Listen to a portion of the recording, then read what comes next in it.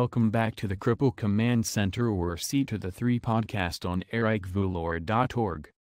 My name is Eric Valor and I will be your host and head nerd in charge. In this episode I will report on a recent webinar given by CIRM, the California Institute of Regenerative Medicine, and a particular clinical trial discussed therein. I will also report on a new potential treatment target for ALS found using CRISPR a new proposed treatment for SOD1-linked ALS, a new open-label trial for a form of curcumin, and a new stem cell model to assess possible treatments for neurodegenerative diseases such as ALS. The first item up for bid is the CRISPR-Cas9 gene editing technology to gain insight into the genetic basis of ALS. The team, led by Dr. Aaron Gitler, use the technology to sift through the entire human genome to find genes that help neurons defend against toxic protein aggregation.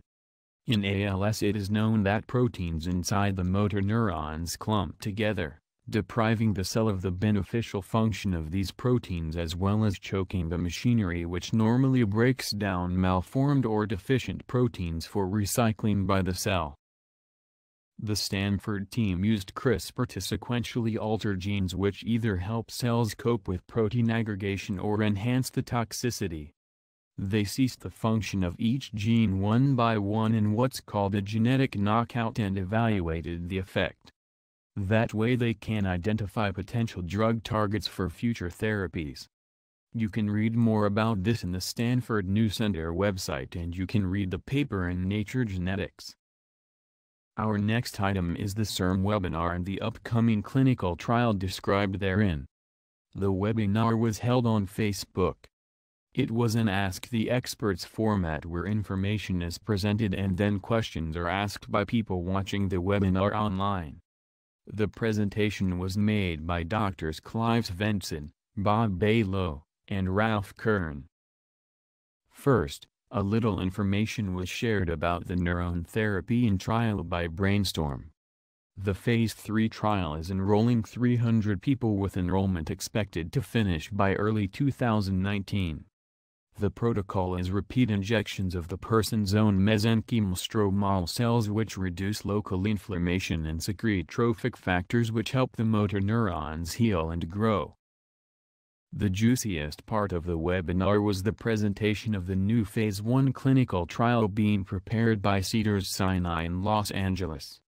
This trial is similar to the old Neuralstem trial using human fetal brain-derived neural progenitors which are multipotent stem cells which can only become cells of neural lineage, neurons, astrocytes, microglia, etc in contrast to the Neuralstem product where the cells mostly became interneurons. These cells become astrocytes which would replace the native astrocytes which become toxic in ALS. The cells are transduced using GDNF, glial-derived neurotrophic factor. Cedars also uses a new method called chopping, which, when you read the paper on the method, should really be called slicing, to expand the cell line into a pharmaceutically relevant number. A clump of neural cells called a neurosphere is repeatedly sliced up the parts then allowed to expand. The usual method is to break apart the neurosphere by hand and individually plate the cells. Chopping is much faster and increases yield by allowing the cells to be cultured in 3D rather than in 2D. This means the cells have more contact with others which promotes health and growth. Instead of having cells just on the left and right and on top and bottom, they also have cells above and below. Like penguins grouping together tightly in a snowstorm the cells fare much better in a 3D arrangement as in the body. Like the Neuralstem trial the Cedars trial uses a laminectomy to inject the cells into the spine but uses a new rig which is significantly less invasive. The patients undergo a year of immunosuppression to ensure the body doesn't reject the implants. After that the cells are expected to survive for life. Next up is the new clinical trial for the spice curcumin being put together by my friend and ALS Untangled colleague Dr. Richard Bedlack. The trial is called ROAR for replication of ALS reversals. ROAR is open label with no placebo and is designed to have faster enrollment with much better retention, and wide inclusion criteria like no two-year cutoff for many of the other exclusions found in usual trials. That's not to say that the usual trial design is bad but ROAR is looking for a huge unmistakable signal. A reversal of ALS such as regaining use of limbs or getting out of a wheelchair, the latter being a more extreme example.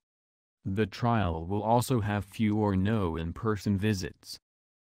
ROAR will use a particular product called Theracumin which is a highly concentrated form of curcumin that is readily absorbed, properly metabolized, and is well tolerated even in high doses. Trial participation for each person is 6 months.